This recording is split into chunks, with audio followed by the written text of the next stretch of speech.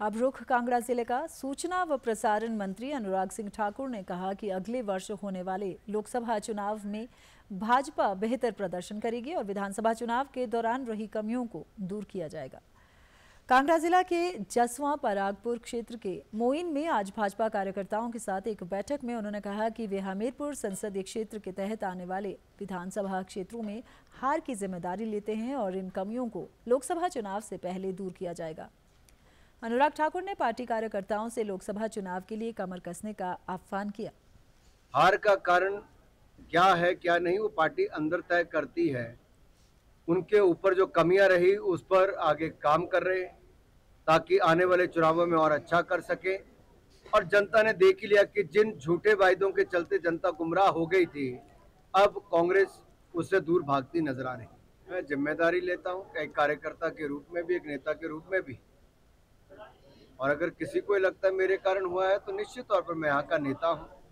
मेरे यहाँ पर अगर कमी रही है तो इसमें क्या है? हम हर चुनाव को बड़ी ताकत के साथ लड़ते हैं, ज़िम्मेदारी के साथ लड़ते हैं, और आगे भी पूरी ताकत के साथ लड़ेंगे। और पहले भी मोदी जी को चारों की चारों सीटें जिता कर दी थी, इस बार भी चारों की चारों सीटें जिता कर देंगे। अनुराग ठाकुर ने कांग्रेस सरकार पर लोगों के साथ झूठे वायदे करने का आरोप लगाया। उन्होंने कहा कि कांग्रेस सरकार ने अभी तक महिलाओं को पंद्रह सौ रुपए नहीं दिए हैं और अन्य गारंटियों के नाम पर भी कुछ नहीं किया गया है।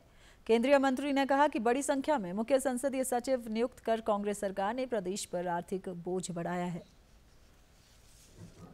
जब विकास की बात करें तो कर्जे में डूबी हुई सरकार नज़र आती है। हर रोज प्रदेश के ऊपर 30 करोड़ रुपए का प्रतिदिन कर्जा चढ़ाने का काम ये कांग्रेस के नेता कर रहे हैं। अगर पाँच साल ये सरकार चली तो ना जाने कितने हज़ार करोड़ रुपए में हिमाचल प्रदेश को कर्जे में डुबा कर जाएँगे। पंद्रह सौ रुपए क्या केंद्र ने कहे थे? पंद्रह सौ रुपए महिला के खाते में तो आए नहीं, लेकिन पंद्रह सौ करोड़ का कर्जा ज़रूर प्रदेश पे चढ़ा दिया। ओपीएस का कुछ मिला तो है नहीं।